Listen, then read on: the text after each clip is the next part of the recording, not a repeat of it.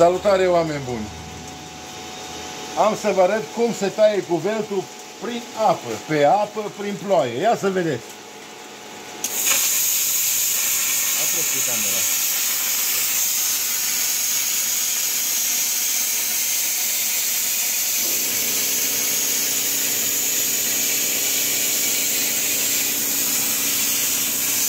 Curge apa gârlă.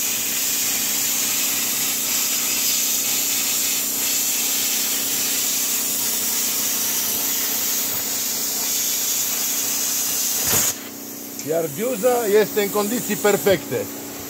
Dacă doriți să aflați aceste informații, vă rog să apelați. Vă salut cu căldură!